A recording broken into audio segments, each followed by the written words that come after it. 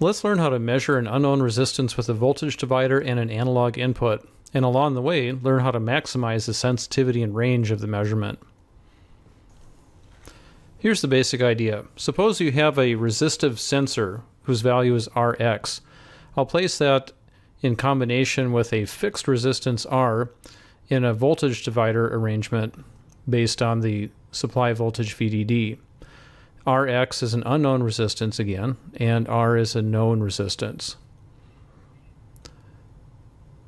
Now the voltage that appears across the known resistance is our primary measurement. We call that Vx.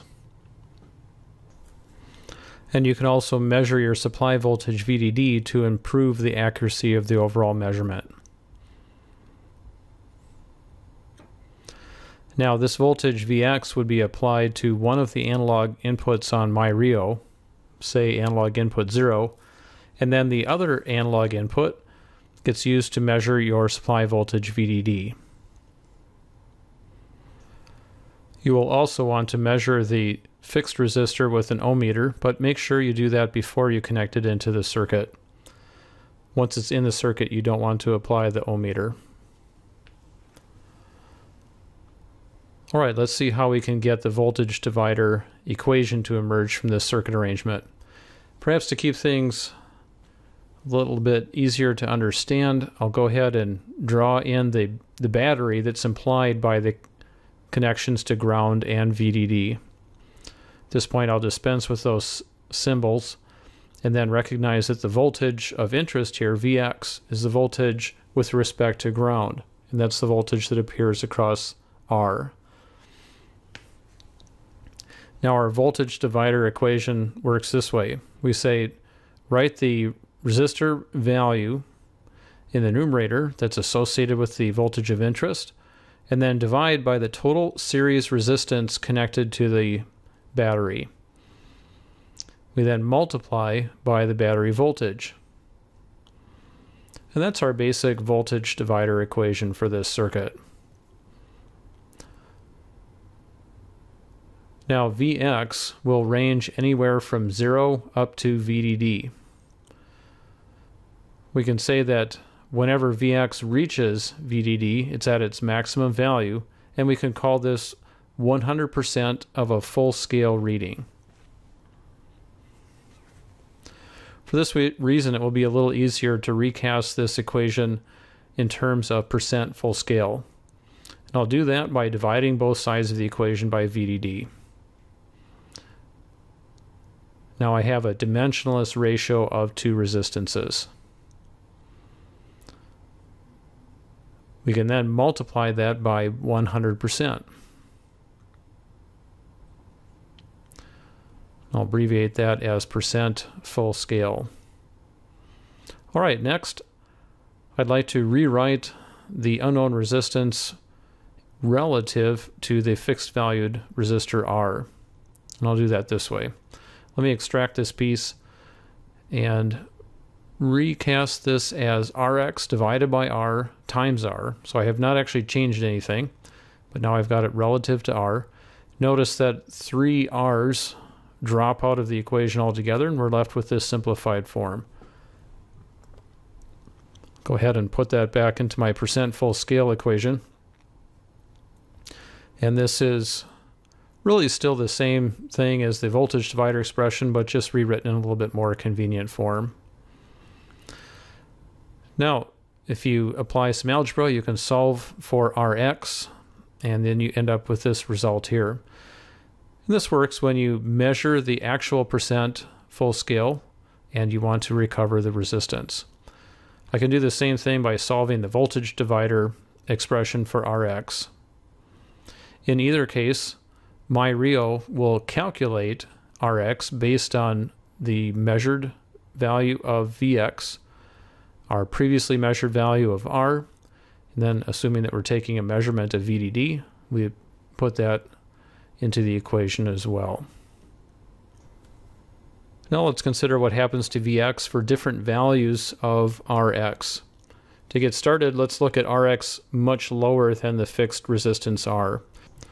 In this case, the resistor ratio goes to approximately zero, and we're left with essentially 100% full scale.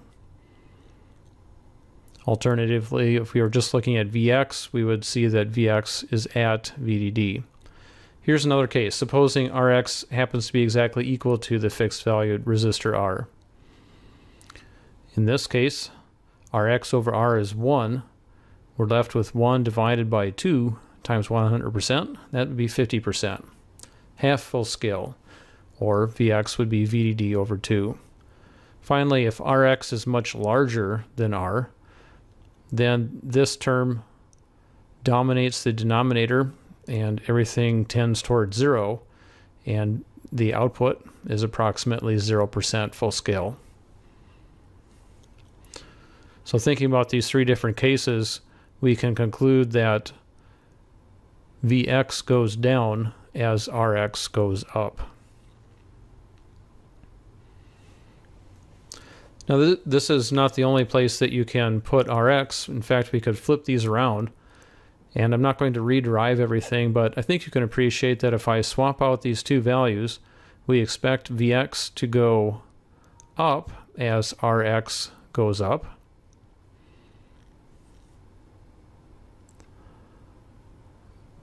And then we can essentially take these set of equations, interchange the positions of R and Rx, and we get equations that are pretty similar except for some minor differences here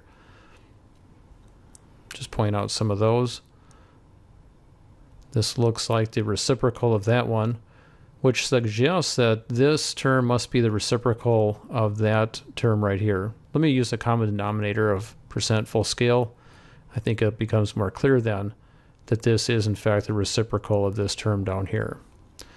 All right, let me put those aside. Those are all the basic equations you need to recover resistance from the measured value of Vx. Now let's turn our attention to maximizing the sensitivity and range of the measurement. And this impacts our decision for the fixed resistor R.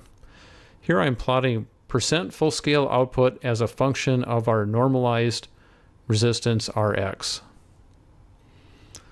I have my two curves, one for Rx in the top branch and the other for Rx in the bottom branch. Let's look at the sensitivity issue first. When we say measurement sensitivity, really means how much change in Vx do we get for a given change in Rx. And clearly from this graph, we see that we get large changes on the left side, but small changes on the right side. And it really relates to the slope of these curves. We're looking for higher slope to indicate higher sensitivity. So in this region where we choose Rx to be relatively low compared to R, we have higher sensitivity. So highest sensitivity is uh, obtained whenever R is large compared to Rx. But let's also consider the range of our measurement. Suppose we have selected a very large value of R compared to Rx. Well, we're already at 90% full scale here, so that means that as the Rx value changes even somewhat, we are pushed right away against the 100% limit, and we just don't get very much range. In a similar fashion, if we were down here at a 10% reading, then it doesn't take much, and then we're already at the 0% range. So, from a symmetrical range standpoint, the best you can do is to pick the value of R to match your value of Rx at your intermediate or nominal value. So to summarize, we say that select R to be the nominal value of your Rx value for maximum range and good sensitivity. Now here's another situation. Suppose you know that your resistance Rx has some minimum value and it just gets larger. In this case, we would like to maximize the sensitivity and the range at the same time, we can do that by choosing R to be roughly 10 times the minimum value of our unknown resistance, and that maximizes our sensitivity and range.